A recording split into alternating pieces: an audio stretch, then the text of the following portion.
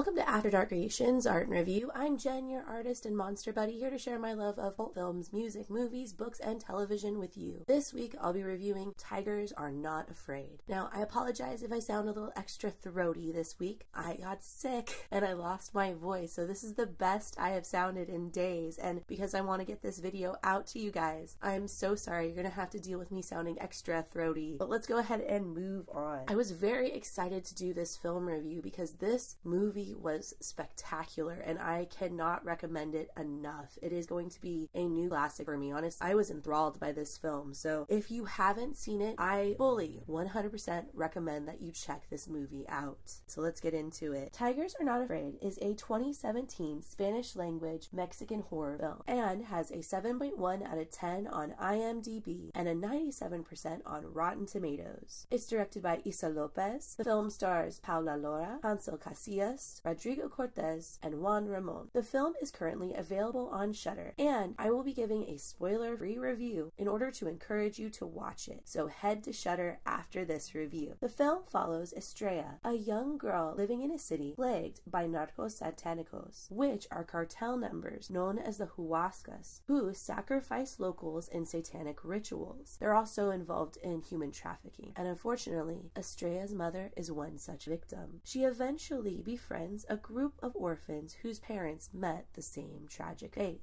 The orphans are led by Shine, who seeks to end the slaughter of local families by the Huascas. He wants revenge for the death of their the children face off with the cartel while surrounded by ghosts, violence, and death. The story is fascinating and surreal. The film is well acted and visually stunning. I found myself thinking about this movie long after watching it and I'm also not too proud to admit that I ride. The viewer becomes deeply concerned about the fate of these children, and it is so well acted and convincing. And although there are elements of mystical surrealism, supernatural elements, there's something that feels very real about it. It's almost like watching a, a fantasy that's based in reality, and you care about the fate of our protagonists. Issa Lopez created a wonderful and stunning world. The cinematography is gorgeous, and there are elements of of the film, like the practical effects, the makeup, and the way they show some of the ghosts is incredibly eerie and unsettling. There's constantly an atmosphere of supernatural danger from the haunting of the spirits, but also the real danger that these children face. So I was very on the edge of my seat through the whole film, and I'd be remiss to compare it to any other films that are Spanish language that have essence of mystical surrealism in it, like The Devil's Backbone, even like Water for Chocolate had some elements of supernatural in the story, but this is so different from all of those films. There's such a freshness to it and a gravitas to the characters. Throughout the story, and this isn't really a spoiler, but throughout the story, you see the children having to survive and scrounge for food, but that they're still children. They do things that children still do. They tell each other stories and they make art. Throughout the whole film, Shine is painting the narrative and story of what is happening to his friends on local derelict buildings and walls. And the kids at one point decorate a bunch of soccer balls and they turn them into totems with images on them. And I feel like the artwork that's shown in the story also helps to further the narrative, which I thought was incredibly unique. And I love those elements. I found them incredibly inspiring as an artist. So let's get into how the film informs the art. Again, I loved all the artwork that was on display and shown throughout the film. The plush tiger that was carried by the character Morro. He was the youngest of the group and he carried this little plush tiger everywhere he went. And the tiger plays a greater role in the overall narrative, but I was very much inspired by that tiger. So I recreated it and sculpted it. And then inside of the mouth of the tiger are ghosts. And that's just again because there are ghosts in the story. I tried to keep the colors in the background similar. I tried to make Tiger look distressed and worn, just as the plush tiger looked. So I hope you're able to check this movie out on Shudder. Please, if you've watched it, let me know in the comment section below what you thought of it. Also, next week there will not be a video. Next week is Horrorgasm, so I will be crazy busy with that. But I am going to film throughout Horrorgasm, taking pictures of the art, and I will have a whole Horrorgasm post-mortem video for you guys to watch. As always, thanks for watching. I'm Jen, and let's keep it spooky, friends.